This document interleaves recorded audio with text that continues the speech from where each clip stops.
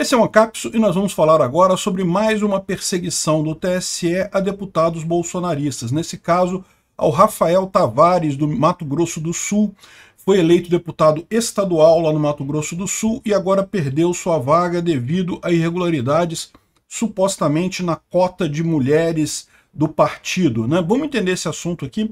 Essa notícia foi sugerida por Emo Bombado, Capitão Spiff e várias outras pessoas. Obrigado aí ao pessoal que sugeriu as notícias lá no nosso site, no visãolibertaria.com.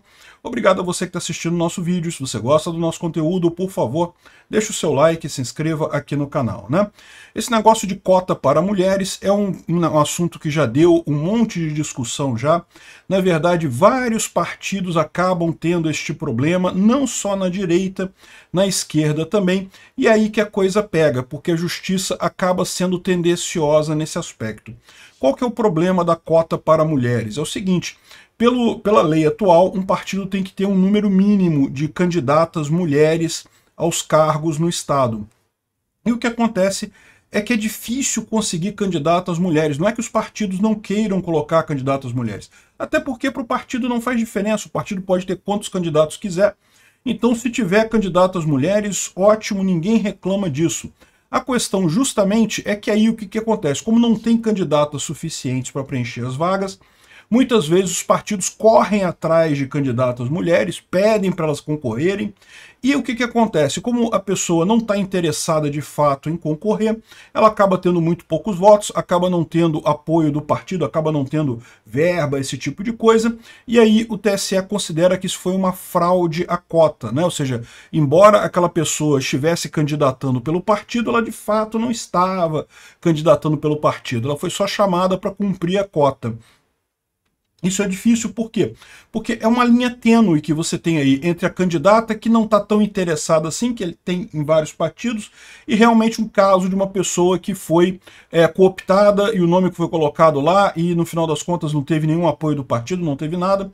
Enfim, é, esse é o grande problema. Né? É, o fato é que a falta de candidatas de, de, decorre muito mais da falta de mulheres querendo se candidatar do que realmente de uma suposta interesse do partido em não ter candidatas mulheres e coisa e tal, né? Infelizmente é isso. Mas a lei é essa. E aí o que, que acaba acontecendo, né? O pessoal aqui no Rio, por exemplo, teve esse problema e não deu nada para o pessoal, não perderam vaga, não perderam nada. Porque justamente tinham algumas mulheres que se candidataram e não tiveram nenhum voto, nem a própria mulher votou nela mesma, o pessoal entende que isso daí é um caso clássico de que né, não era uma candidatura de verdade isso daí. Mas aqui no pessoal do Rio não teve esse problema, né? não foi, ninguém foi caçado. Lá no PR, é, PRTB do Mato Grosso do Sul, eles consideraram que o caso era mais grave. Eu tenho que ser sincero com vocês, eu não vi o caso aqui, eu não li uh, os autos, pode ser que realmente tivesse coisa muito mais grave do que isso lá na, na questão da cota, então, talvez eles tenham razão e caçaram o cara. De qualquer forma, foi um erro do partido, e o absurdo é isso, né? Porque o deputado perde o cargo por erro do partido. Enfim, e o pior de tudo, com ele saindo, como ele tinha a única vaga do partido na Assembleia Legislativa, o partido agora, todos os votos do partido foram anulados, então ele perdeu a vaga dele, e é, vai entrar agora um outro partido que teve menos votos que ele, que foi o PSB, né? Muito triste isso. É, é realmente uma coisa. É, é, chato esse tipo de coisa. Por isso que eu falo, a gente tem que partir logo para a eleição distrital. É muito melhor a eleição distrital. Cada um vota no candidato daquele seu distrito, e daí não tem esse negócio de quociente eleitoral, não sei o que é lá, cota. Pô, tudo isso deixa de fazer sentido porque, no final das contas, é uma vaga só em cada lugar, né? Enfim. Uh, de novo, eu não tenho acesso aos autos, não li exatamente qual é a ação, mas vocês sabem que tem havido sim uma certa perseguição a deputados bolsonaristas, tanto na Câmara Federal quanto nas câmaras nas assembleias estaduais, justamente porque o pessoal está extremamente preocupado com o crescimento do bolsonarismo e vai continuar crescendo. Esse pessoal não percebeu, eles ainda acham que o bolsonarismo é um elemento artificial, é uma coisa artificial que alguém está promovendo na política brasileira, não perceberam ainda que o problema é totalmente outro, né? Que o problema, na verdade, é que isso é uma coisa orgânica. O povo quer isso. Então, o, a resposta do, uh, do Rafael Tavares foi até bastante interessante.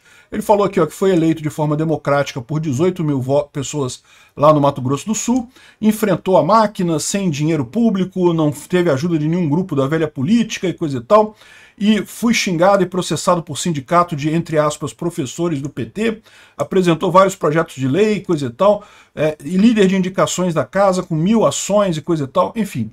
É, não dei nenhum centavo para a imprensa esquerdista, dei muitos motivos para o sistema querer me derrubar e, e, incomodei muita gente. Mas quer saber, farei tudo de novo e com mais força na próxima oportunidade. Né? Isso aqui é um ponto importante que eu acho que o pessoal tem que lembrar disso sempre. Né? Sim, a gente está sofrendo perseguição agora, o STF está indo em cima, é, muitos outros deputados bolsonaristas, tanto na Assembleia Federal, né, no, no Congresso Nacional, quanto nas Assembleias Legislativas Estaduais, ainda vão perder os mandatos, porque é claramente direcionado esse tipo de ação, mas isso não importa, porque esse pessoal não consegue acabar com o que realmente é a origem do problema, que é o pensamento do povo brasileiro.